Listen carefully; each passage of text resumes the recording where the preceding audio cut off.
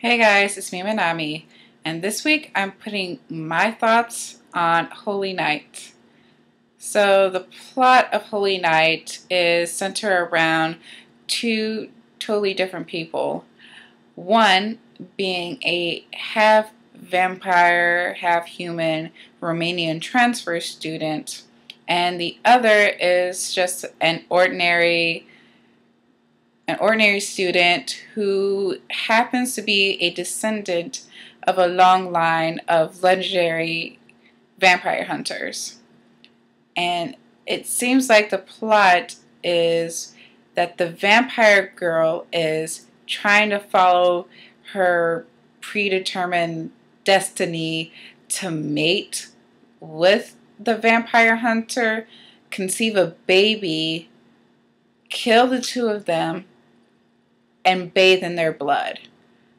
And this is so far just the second episode, so yeah.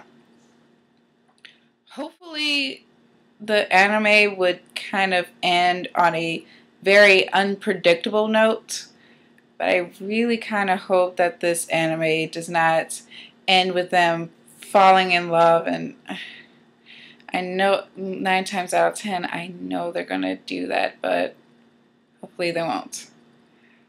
So I would kind of recommend this anime for someone who's more of a guy. It has a lot of nudity, but I don't think that would be a problem for girls.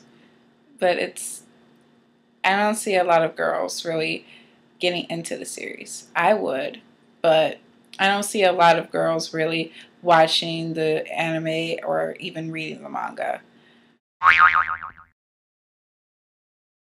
Out of all the high school animes, you know, high school slice of life animes that I've watched, this by far has the worst schoolgirl outfit uniform ever. I mean, the little cap and the gown, I the cap is what really is throwing me off. It's it looks really costume like very costumey.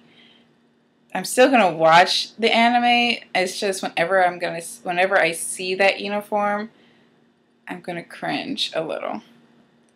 So that's my thoughts on Holy Knight, and I'll see you next week. Bye.